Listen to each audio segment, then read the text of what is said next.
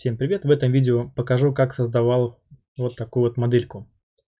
Ко мне обратились с просьбой, а, скажем так, создать модель вот по таким вот эскизам. Здесь указаны некоторые размеры, сечения, ну и вот такая превьюшка с размерами. То есть а, также мне предоставили вот такой вот DXF файл, а, но с ним ничего сделать, к сожалению, нельзя было. Не экструдировать, не проекцию сделать. При попытке сделать проекцию Fusion зависает. А, я пробовал конвертировать это в SVG, DVG, но все это не дало никаких результатов, поэтому это я закрываю. И, собственно, буду работать вот с этим вот а, эскизом. Для начала, а, то есть я покажу, как я вставил картинку.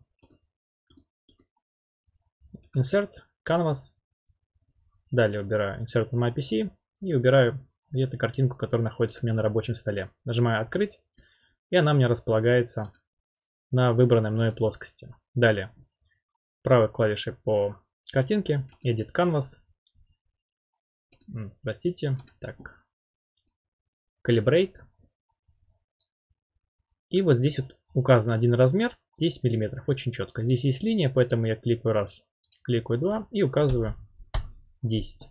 Размерность по умолчанию у меня стоит в миллиметрах, поэтому я откалибровал картинку и данный размер у меня будет соответствовать 10 миллиметрам. И так далее. Э, я создам эскиз на этой поверхности. Например, э, сделаю прямоугольник с привязкой вот к этим углам, например. Ну, в целом эти размеры можно, конечно, задавать чуть более точно, но я думаю, в данном случае это не очень принципиально. А с привязкой к центру сделаю такую здесь линию окружность. Так, хотя на самом деле я сейчас начну делать вот, э, с, вот этот торец, поэтому мне необходимо только окружность. У меня будет, например, две точки. Здесь будет раз точка, и которая кликну где-то вместе вот этого радиуса, ну, касательной. И буду тянуть вот так все это вниз. Ну, вот так где-то все Так, Ctrl-A. Повторю-ка еще раз. А, вот до этой точки сделаю касание. И буду, значит, сейчас играть. Так, Ctrl-Z. Вот эти элементы у меня начинают перемещаться, поэтому я их с помощью замочка сделал фикс. И теперь буду поднимать это кверху пока не получу тот радиус, который мне нужен. А, ну, либо, конечно, если он есть, я могу его задать циферно. Но здесь а, немножко не получится это создать. Ну-ка.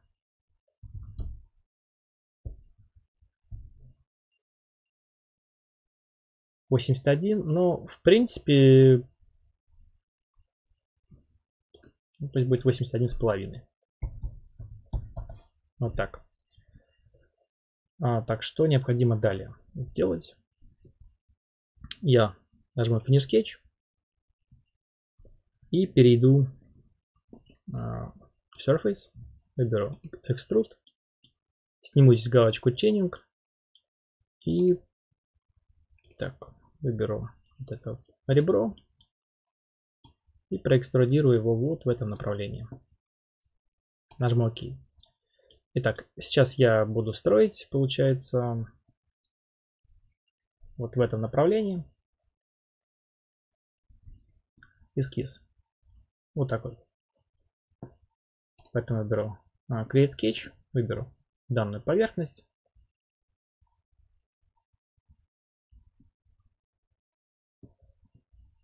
Так. Нажму клавишу P английскую, получу проекцию. Ну вот у меня появилась вот эта вот точка. Поэтому отсюда я сделаю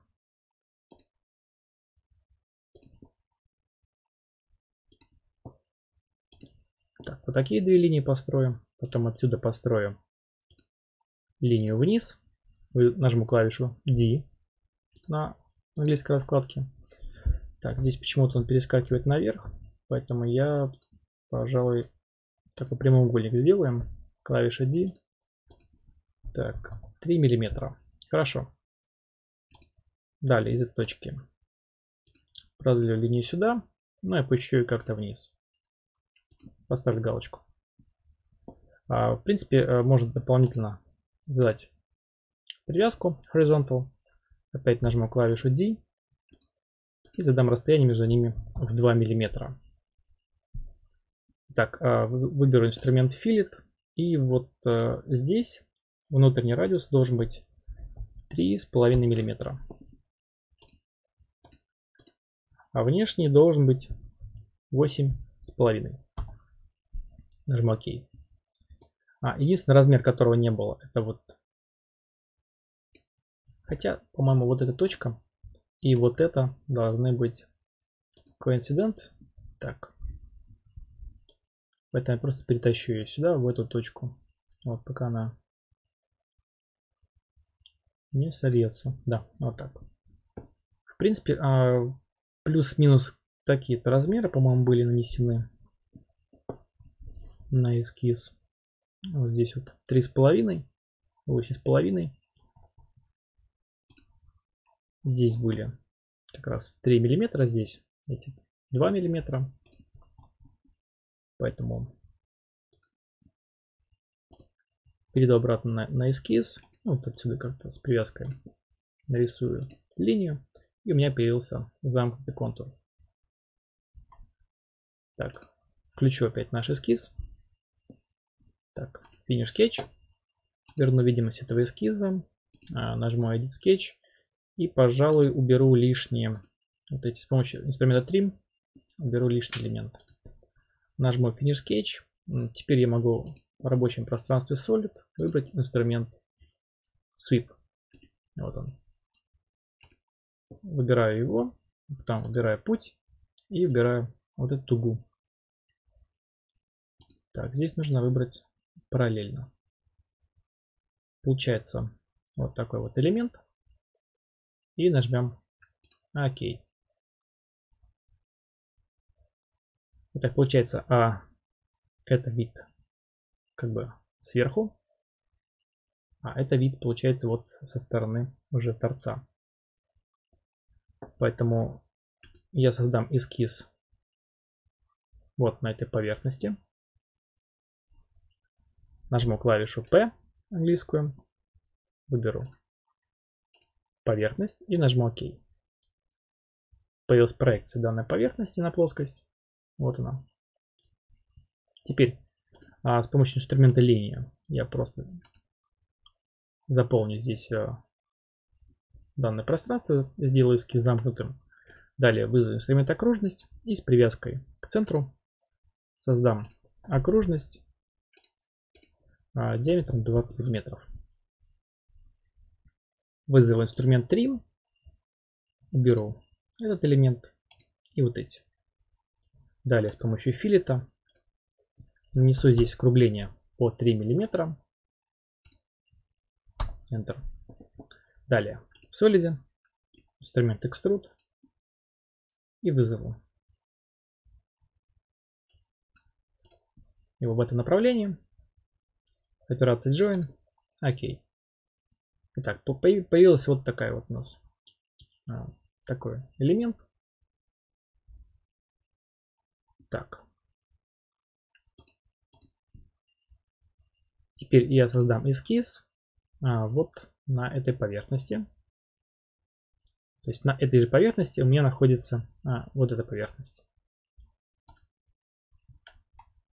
Хорошо, нажму клавишу P, сделаю проекцию этой поверхности сюда. Так, уровни все.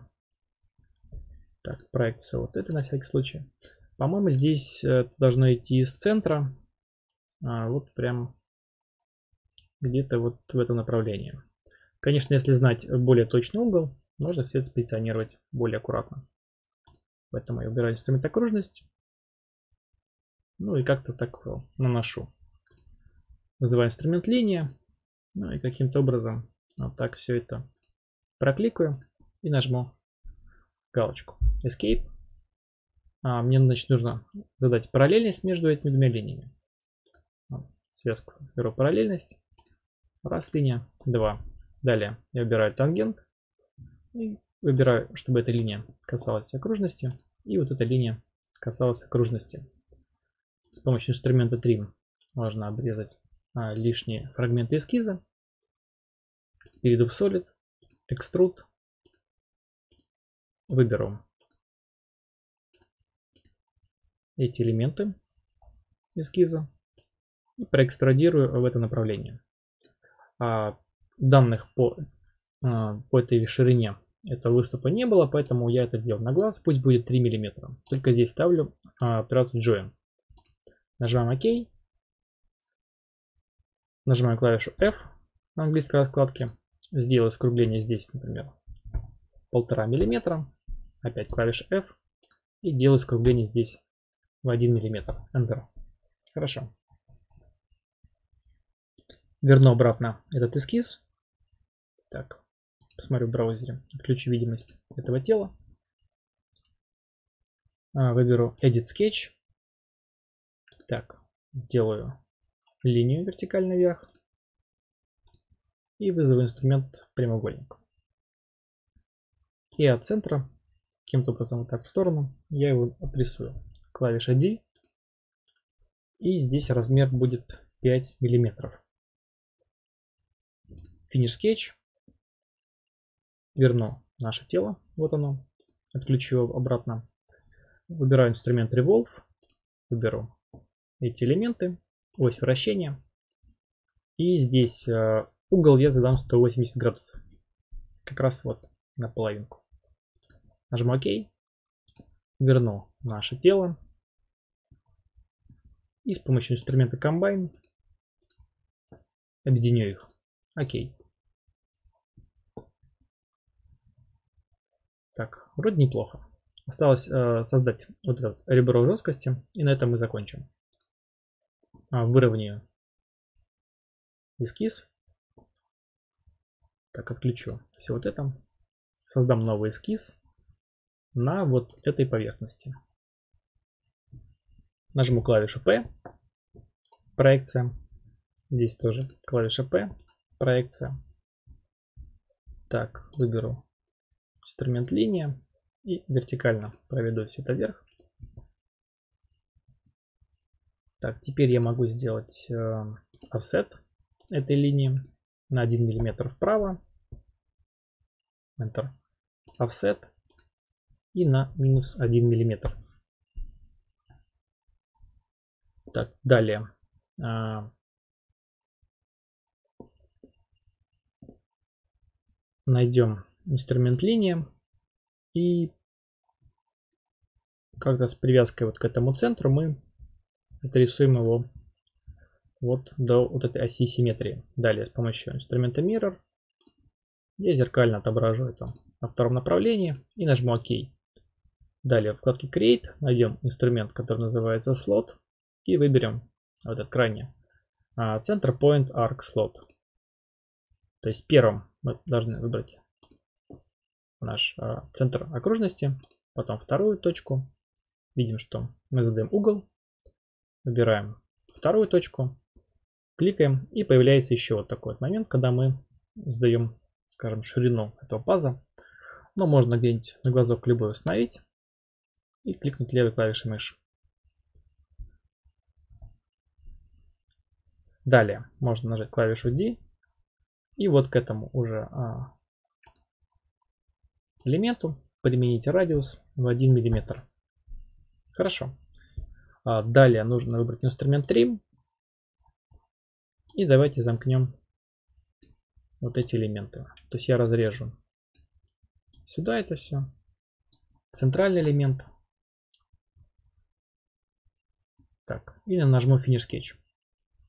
Так, посмотрим, выбирается ли этот контур. Да, он замкнутый. Теперь перейду в рабочее пространство Surface. Выберу инструмент Extrude. Выберу раз контур. И вот эти контура. Так, вот так, да. И проэкструдирую в этом направлении. Нажму ОК. Ну, получился вот такой вот а, элемент у нас. Из, э, из поверхности. В принципе, вот эта поверхность не нужна, поэтому я просто выберу и нажму Delete. Далее перейду в Solid, выберу инструмент э, Split Body, выберу тело и выберу обязательно здесь в браузере нашу поверхность. И обязательно нужно поставить галочку Extend Splitting Tool. Появилась превьюшка такая. Нажимаем ОК. Так, уберу наши поверхности. В браузере появилось а, второе тело. Вот такой вырез. Отключу видимость а, второго фрагмента этого тела и вызову инструмент Press Pull. И просто прокликаю все вот эти поверхности и задам значение 2 мм. Нажму ОК. Верну видимость второго элемента и с помощью инструмента Combine объединю их в одно тело. Видим, что в браузере это теперь одно тело. Отключу видимость нашей картинки. В принципе, э, теперь можно с помощью а, клавиши F задавать какие-то скругления. Так, F. Выберу вот эти элементы. Ну, например, пусть будет здесь полтора миллиметра. Так, полтора не получится, потому что слишком много. Так, один. Так, 0.8. Вот, 0.8 в принципе получается. Нажму ОК. В принципе, точно так же можно а, нанести скругление сюда, вот на вот эти элементы. Ну, в целом, такую детальку получилось создать. Достаточно быстро, несложно. А, вот используя э, базовые инструменты. На этом я данное видео заканчиваю. Спасибо за внимание. Желаю всем творческих успехов. До новых встреч.